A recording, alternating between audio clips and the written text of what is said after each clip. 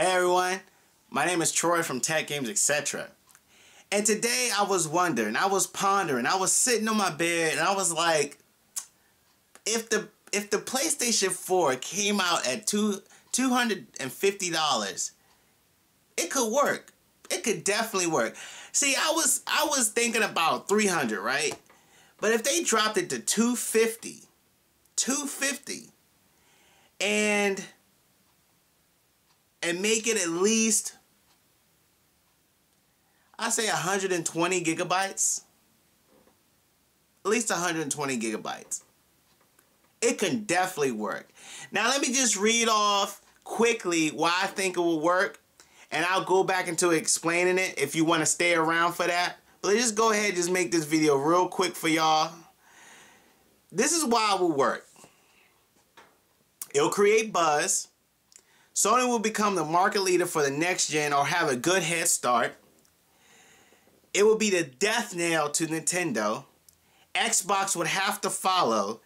Technology hasn't changed enough for a graphical difference to be affordable to customers anyway.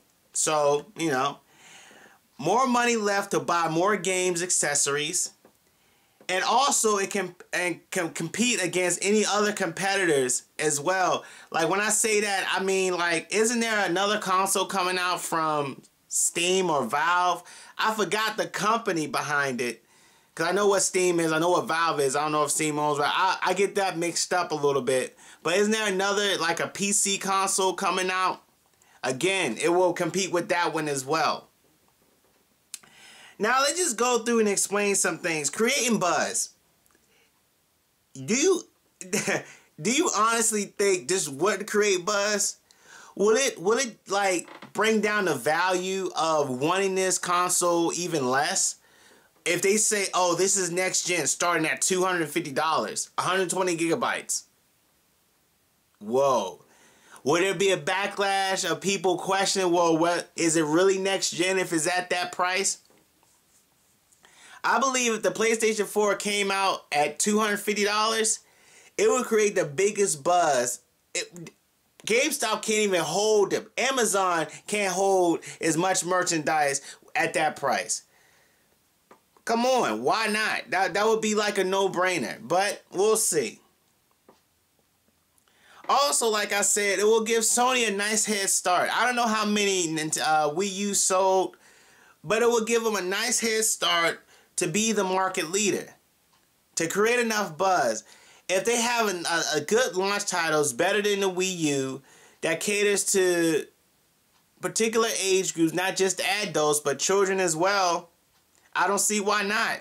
If they bring out some of their first party titles like a Jak and Daxter, Ratchet and Clank to cater to, you know, adults and children as well, or uh, anything um, like a their Killzone, of course, to cater to other people. Why not go for it? Why not? It will. It will. It will create. You will get a great, a great head start, especially if Xbox.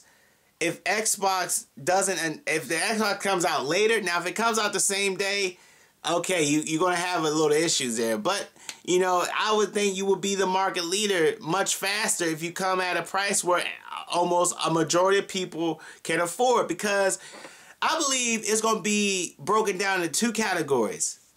People who really want it and the people who are going to actually say, okay, let's wait until the price drops.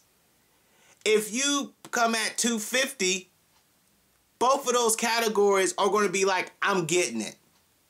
I'm getting it. Why not? This will be the death nail to Nintendo. Wow. Uh, Wii U is struggling. Am I right or wrong? Wii U is struggling right now. I mean, for games, probably. I think it was mostly because of games, right? So if the Wii U is struggling, wouldn't this be the death nail? Like Wii U, you can't even compete right now. You can't even, you can't even come close right now to the PlayStation uh, 4. That's that's I, I, I think will be the death knell. If they're already struggling, this would be like the the the nail the nail in the coffin right here. The Wii U will have to come out with something serious because right now it just can't be just their first party titles. They have to rely on more of developers, more of developers outside of theirs to actually compete. And I see that as the death knell. Like Nintendo will not be I don't think Nintendo is relevant. I never believed it, but they'll make it even more irrelevant. More irrelevant. Also, it will give Xbox will have to follow this price. Xbox will have to follow this price. If they don't follow this price, they can't compete. They can't have a next gen price of $500, $600. If you go into GameStop and say, well, which one is available? Oh, we have a PlayStation 4 for $250, or we have a PlayStation, or we have an Xbox 720 for uh, $300. Who, what would you go with? Exactly. So Xbox will have to follow this. Bad, like super bad. They have to follow this. Uh, the the main reason why I say this, like I said before, I don't believe technology has changed enough that we will see a graphical difference.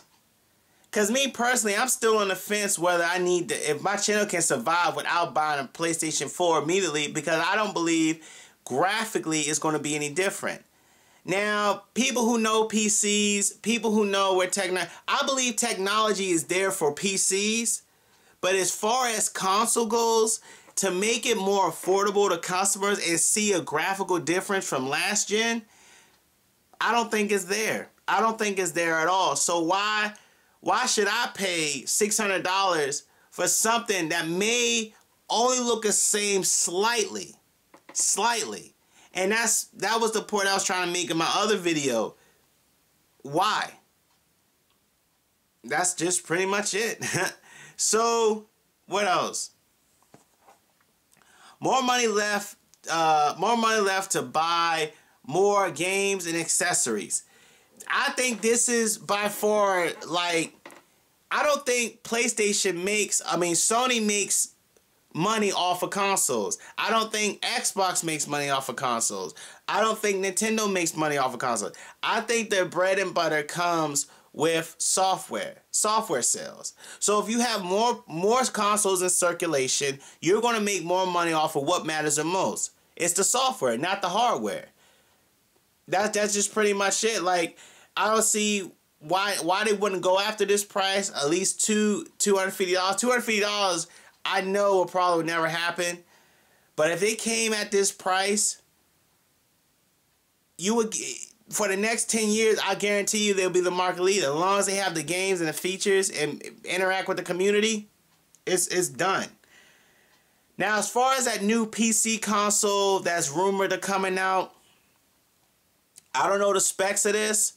I don't know if it will be a difference, but of how it is going to function, I forgot what did they already name it already? But for it to compete with this, I think this price will be really good. I think this price would be very good. But there you go. That was just a quick video about why why I think the PS4 can survive at two uh, that can work at two hundred fifty dollars. But I highly doubt that will. It will come out. But let me know, community. What do you think? What do you think the price of the PlayStation 4 should be to be competitive for you to buy it day one?